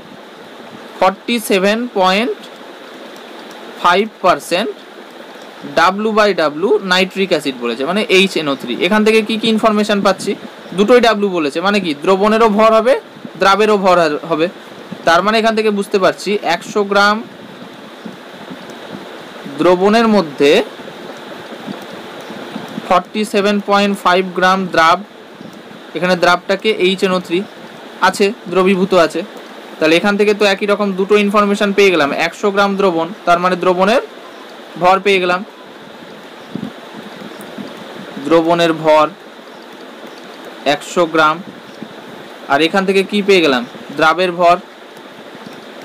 দ্রাবের ভর কত বলেছে? Forty seven point five gram. এখন একটা জিনিস দেখো নর্মালিটি বের করতে বলেছে। নর্মালিটি সমান সমান কি জানি আমরা? এক্স ফ্যাক্টর ইন্টু মোলারিটি এবার এইচ এনও থ্রি যেহেতু অ্যাসিড এইচ একটাই তো আছে, তার মানে একটা এইচ প্লাস দিবে। তার মানে এক্স ফ্যাক্টরের মান ওয়ান হয়ে যাবে। তার মানে কি? মোলারিটির যেটা মান বেরাবে, সেটাই নর্মালিটির মানের সমান হবে। তাহলে মোলারিটিটা বের করি। এবার ঘটনা হচ্ছে মোলারিটি সমান সমান আমরা জানি কি? ওপরে দ্রাবের মোল সংখ্যা, নিচে দ্রবণের আয়তন। এবার দ্রবণের আয়তন তো তোমাকে বলে দেয়নি। কিন্তু দেখো, দ্রবণের ভর বলে দিয়েছে, আবার এখানে দ্রবণের ঘনত্ব বলে দিয়েছে। দ্রবণের ঘনত্ব। ঘনত্ব কত বলে দিয়েছে? One point three gram per cm cube তাহলে ভর আর ঘনত্ব এই দুটোকে কাজে লাগিয়ে আয়তন বের করতে পারব না? একটু আগে বের করলাম। দেখো, তাহলে দ্রবণের আয়তন এটা সমান কত হবে? দ্রবণের ভর বাই দ্রবণের ঘনত্ব। দ্রবণের ভর কত বের করলাম আমরা? একশো গ্রাম। আর দ্রবণের ঘনত্ব বলে দিয়েছে one point three gram per cm cube তাহলে গ্রাম গ্রাম ক্যান্সেল আউট হয়ে গেল। Cm to the power minus three, ওপরে গেলে cm to the power three হয়ে যাবে। একশোকে যদি আমরা ওয়ান পয়েন্ট থ্রি দিয়ে ভাগ করি, বেরাবে হচ্ছে seventy six point nine two nine two three এত সেমি কিউব এবার এখানে তো দ্রবণের আয়তনটা লিটারে বসাতে হবে, তার মানে লিটারে করলে কি হবে? এক হাজার দিয়ে ভাগ হয়ে যাবে। তার মানে into ten to the power minus three litre তাহলে এখানে বসিয়ে দিই। দেখো, এবার দ্রাবের মোল সংখ্যাটা তো বের করিনি। দ্রাবের মোল সংখ্যাটা বের করে ফেলি। দ্রাবের মোল সংখ্যা, এটার আবার সূত্র কি? দ্রাবের ভর বাই ওই দ্রাবের আণবিক ভর। দ্রাবের ভর কত বলে দিয়েছে? Seventy sorry forty seven point five এত গ্রাম। আর দ্রাবটা কি H N O three H N O three এর আণবিক ভর কত হবে? হাইড্রোজেনের তো এক, নাইট্রোজেনের চোদ্দ, আর অক্সিজেনের ষোলো করে তিনটে আছে, তিন ষোলো আটচল্লিশ। তাহলে টোটাল যদি যোগ করি, আটচল্লিশ প্লাস চোদ্দ যোগ এক টোটাল বেরাবে সিক্সটি থ্রি তার মানে আণবিক ভর বেরালো সিক্সটি থ্রি এত gram per mole. Gram gram cancel out হয়ে গেল ফাইনালি মোলে বেরাবে এটা। তাহলে forty seven point five divided by sixty three এটা হচ্ছে zero point seven five four এত মোল। তাহলে মোলারিটি কত বেরাবে? দেখো, মোল সংখ্যাটা তো বেরালো zero point seven five four এত মোল। আর নিচে দ্রবণের আয়তনটা বেরিয়েছে seventy six seventy six point nine two three into ten to the power minus three এত litre ten to the power minus থ্রিটা উপরে নিয়ে চলে যাও, তাহলে ten to the power three বা এক হাজার দিয়ে গুণ হয়ে যাবে, তাহলে সাতশো চুয়ান্ন হয়ে গেল উপরে। নিচে হচ্ছে ছিয়াত্তর দশমিক নাইন টু থ্রি তাহলে ভাগ করলে বেরাবে নাইন পয়েন্ট এইট এত মোল পার লিটার তাহলে এটা কি বেরালো? এটা কিন্তু মোলারিটি বেরালো। মোলারিটিটা বেরালো nine point eight mole per litre আর কি দেখলাম? এখানে যেহেতু এক্স ফ্যাক্টরের মান ওয়ান নর্মালিটি আর মোলারিটি সেম তাহলে নর্মালিটির ভ্যালুটা কি বেরাবে? নর্মালিটিটাও বেরাবে নাইন পয়েন্ট এইট জাস্ট এককটা আলাদা হবে। এককটা কি লিখব? গ্রাম ইকুইভ্যালেন্ট পার লিটার ব্যাস, এটাই অ্যান্সার তাহলে বোঝা গেছে এটা? তাহলে নর্মালিটি যখনই বের করতে দিবে, এইভাবে আগে মোলারিটিটা বের করে নেবে। ওটার সাথে এক্স ফ্যাক্টর গুণ করে দিলে নর্মালিটি পেয়ে যাব। দেখো নেক্সট লাস্ট প্রবলেম এটাই করি। এখানে কি বলেছে? NaOH এর একটি জলীয় দ্রবণের মোলাল গারত্ব মোলাল গারত্ব মানে মোলালিটি। মোলালিটি, যেটাকে আমরা স্মল এম দিয়ে লিখেছিলাম। এটা বলে দিয়েছে ওয়ান পয়েন্ট ফাইভ দেখো ওয়ান পয়েন্ট ফাইভ বলে দিয়েছে। এবার উক্ত দ্রবণের ডাব্লু বাই ডাব্লু শতকরা মাত্রা মানে পার্সেন্টেজ ডাব্লু বাই ডাব্লু নির্ণয় করতে বলেছে। দেখো পার্সেন্টেজ ডাব্লু বাই ডাব্লু যদি বের করতে হয়, কি কি জানা দরকার আমাদের? ওপরের ডাব্লুটা দ্রাবের, নিচের ডাব্লুটা দ্রবণের মানে দ্রাবের ভর জানতে হবে আর দ্রবণের ভর সরি সরি হ্যাঁ হ্যাঁ ঠিকই আছে। দেখো, আমাদেরকে পার্সেন্টেজ ডাব্লু বাই ডাব্লু বের করতে বলেছে। পার্সেন্টেজ ডাব্লু বাই ডাব্লু মানে কি? ওপরের ডাব্লুটা দ্রাবের, নিচের ডাব্লুটা দ্রবণের মানে দ্রাবের ভর জানতে হবে আর দ্রবণের ভর জানতে হবে। সেটা কোথায় থেকে জানতে পারব? এই মোলালিটি থেকে পেয়ে যাব। মোলালিটি মানে কি? অ্যাকচুয়ালি এক কেজি দ্রাবকের মধ্যে কত মোল দ্রাব আছে সেটাই। তাহলে এখান থেকে আমরা কি ইনফরমেশন পাচ্ছি? এক কেজি দ্রাবকের মধ্যে ওয়ান পয়েন্ট ফাইভ মোল দ্রাব আছে। এবার এখানে দ্রাবটা কি? NaOH তাই তো? এই দ্রাবটা আছে। এখন ঘটনা হচ্ছে, এখান থেকে দেখো, এক কেজি দ্রাবক, তার মানে কি? এখান থেকে আমরা দ্রাবকের ভর পেয়ে গেলাম। দ্রাবকের ভর কত পেলাম? এক কেজি। এবার ওয়ান পয়েন্ট ফাইভ মোল দ্রাব মানে কি? এখান থেকে দ্রাবের মোল সংখ্যা পেলাম। দ্রাবের মোল সংখ্যা মানে স্মল এন এটা পেলাম ওয়ান পয়েন্ট ফাইভ মোল। দেখো, দ্রাবের মোল সংখ্যা নিয়ে আমাদের কোনো কাজ নেই। আমাদেরকে দ্রাবের ভরটা জানতে হবে। আবার দ্রাবের মোল সংখ্যা থেকে দ্রাবের ভর কীভাবে জানব? আমরা জানি দ্রাবের মোল সংখ্যা মানে কি? এটা সমান সমান দ্রাবের ভর ডিভাইডেড বাই দ্রাবের আণবিক ভর। দ্রাবের মোল সংখ্যা বলে দিয়েছে ওয়ান পয়েন্ট ফাইভ দ্রাবের ভরটা বের করতে হবে। এবার দ্রাবের আণবিক ভর NaOH তখনই বের করলাম। এর আণবিক ভর চল্লিশ বেরিয়েছিল। ব্যাস, বসিয়ে দাও। তাহলে চল্লিশকে যদি ওয়ান পয়েন্ট ফাইভ দিয়ে গুণ করি, পেরাল, পেলাম হচ্ছে আমরা ষাট। তাহলে দ্রাবের ভর পেয়ে গেলাম ষাট, কোন এককে পেলাম গ্রাম। কারণ কি? এটা মূল সংখ্যা মোল আর এটা গ্রাম পার মোল। তাহলে পার মোল আর মোল কেটে গেল আলটিমেটলি গ্রাম থাকল। তাহলে দ্রাবের ভর পেয়ে গেলাম আমরা, দ্রাবের ভর ষাট গ্রাম। এবার দেখো, এখানে দরকার কি? ওপরেরটা দ্রাবের ভর, এটা দরকার। ওপরের দ্রাবের ভর তো পেয়ে গেলাম ষাট গ্রাম, নিচে দ্রবণের ভর। এবার দেখো, এখানে দ্রাবকের ভর বলে দিয়েছে, দ্রাবের ভর বলে দিয়েছে। এখান থেকে তো দ্রবণের ভর পেয়ে যাব আমরা। দ্রবণের ভর কত হবে? দ্রাবকের ভর কেজি এককে আছে, ওটা গ্রামে নিয়ে যাও। মানে এক হাজার গ্রাম, আর এটা ষাট। ষাট গ্রাম, তাহলে আলটিমেটলি কি পেলাম? এক হাজার ষাট গ্রাম। তাহলে বসিয়ে দিলাম এটা এক হাজার ষাট। ইন্টু হান্ড্রেড শতকরাতে করতে গেলে হান্ড্রেড দ্বিগুণ করতে হবে। এবার কাটাকুটি করো। একটা শূন্য একটা শূন্য কাটলো। মানে উপরে হয়ে গেল ছ, ষাট ইন্টু টেন মানে ছশো ডিভাইডেড বাই নিচে একশো ছয়। তার মানে ফাইভ পয়েন্ট সিক্স সিক্স তাহলে এটার অ্যান্সারটা পেয়ে পেয়ে গেলাম আমরা ফাইভ পয়েন্ট সিক্স সিক্স কী বের করতে বলেছিল? উক্ত দ্রবণের শতকরা মাত্রা ডাব্লু বাই ডাব্লু তাহলে শতকরা মাত্রা ডাব্লু বাই ডাব্লু হয়ে গেল ফাইভ পয়েন্ট সিক্স সিক্স ঠিক আছে? তাহলে দেখো, যত রকমের প্রবলেম করলাম, আশা করছি সমস্ত কিছু ক্লিয়ার হয়ে গেছে তোমাদের। ঠিক আছে? এবার যে কোনো প্রবলেম দেওয়া গেলে এই সমস্ত ইনফরমেশান কাজে লাগিয়ে এভাবে করবে, হয়ে যাবে। বোঝা গেছে? তাহলে আজকে এতটাই থাকল। আবার পরবর্তী ভিডিওতে দেখা হবে।